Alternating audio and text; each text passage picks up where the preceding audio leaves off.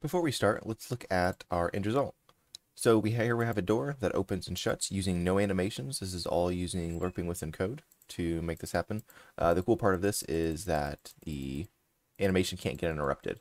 So we can open and close as quickly as we want and also adjust it by just adding a few values here. So we can make the door not close all the way or make the door open more or whatever we want. All right, let's go ahead and get started. Let's get started by adding in our door. So I have a folder here containing my door model. I'm going to place that inside my models folder. Uh, the store is available in the description. So we'll drag this in. And one thing I need to do is parent the handle to the actual door. And in order to do that, I have to unpack the prefab for to do that. So handle to door. And now I've got my door here. And if I rotate it, you'll see that it opens because the origin point is set to the corner there. All right, now we got the door in. Let's go ahead and create a script. I'll create one in my scripts folder. I'll call this door controller. All right, now let's go ahead and open that up.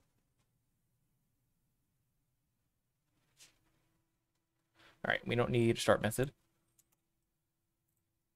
All right, so first off, we need a reference to the door. So public game object door. And now we need our uh, open rotation. So the ro location will be when it's actually all the way open. So basically measure this in degrees. So open rotation, what it is for it to be closed. We can add another one here. Close rotation, and then another one for speed. Or so how fast the door will open or close. And then a boolean for uh, opening. So is the door opening? Right, now if we move down into our update method here, we first want to create a vector 3 and call this current rotation or current rot. And that is equal to the door transform local Euler angles. So we want the local rotation and Euler angles. If the door is opening, and if current rotation dot y is less than the open rotation, we want to continue lerping the door open. So door.transform.local Euler angles is equal to vector 3 dot lerp.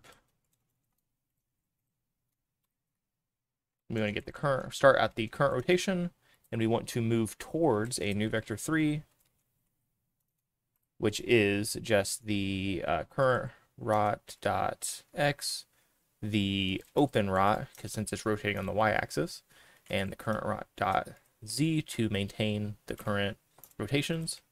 And then we want to put the speed in here and multiply that by times dot delta time, or time dot delta time. All right, and that is the door opening. So what we'll do next, uh, you can press Control A, K, F if you want to go ahead and clean up your lines. We'll say else, so if the door, if opening is not equal to true, so the door is closing, and the current rot.y is greater than the close rotation. We'll add the close rotation here and basically doing the exact opposite and done. That is how we get this door to open. So let's go ahead and go back into here. Low poly door, drag in our controller. We'll need to put a reference to the door. I want this door to open up 90 degrees, close is zero, and I want to move it to speed of five. Press play. Go into the scene view. And now if you just press opening, see that the door opens. And what's beneficial on this rather than doing animations is that the animation is interrupted by that. You can start to open a door and immediately shut it. Something else that is cool is we can set the close. So say we want it to not close all the way. So its close will be 20 degrees. So we can open and then when we go to close it, it'll actually stop cracked. So if you have a broken door or something like that, it won't close all the way. But that is essentially it. If you want to call this from another method, a good way to do that would be to add in a public void uh, toggle door. And then just say opening it's equal to not opening. So this will just make it equal to the opposite of whatever it is. And then our update method is listening for that opening call.